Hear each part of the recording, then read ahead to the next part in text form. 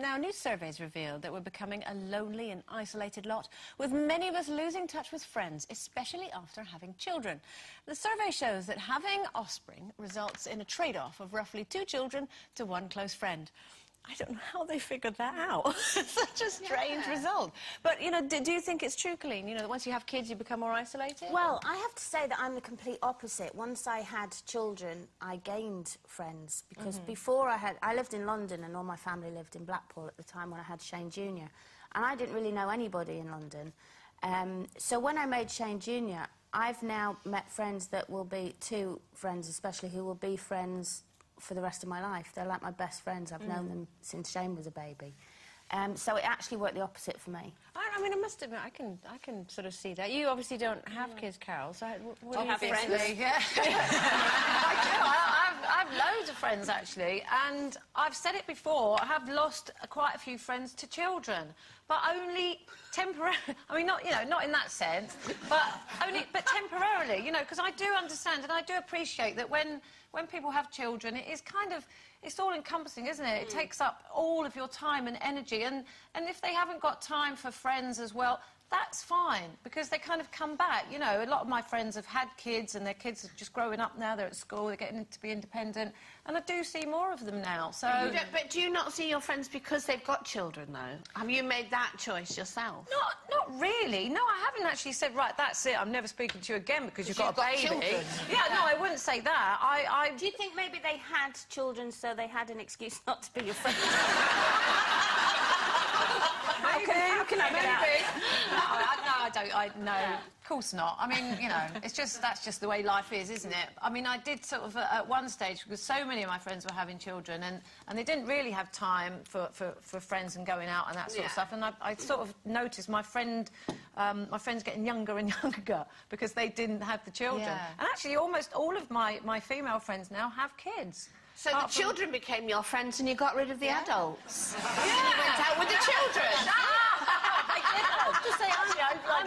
I'm I'm the opposite as well, Coleen. I would say that since, especially, you know, you move, if you do move to a new area, it's a lot easier to make friends once you have kids because you're forced out the door. Yeah.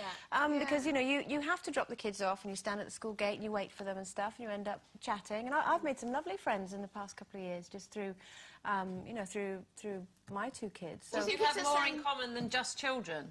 Yeah, of course. I mean, you obviously, you know, if you go to a school where there's a couple of hundred pupils there, you meet lots of parents, but you do yeah. gradually get to, in the same way you do in real life, you get to filter out, you know, who do you, you think, But do you think Steve has, lo has lost friends because he has children now, so he hasn't got the mates, or does that not count with He's men? a bloke, doesn't figure.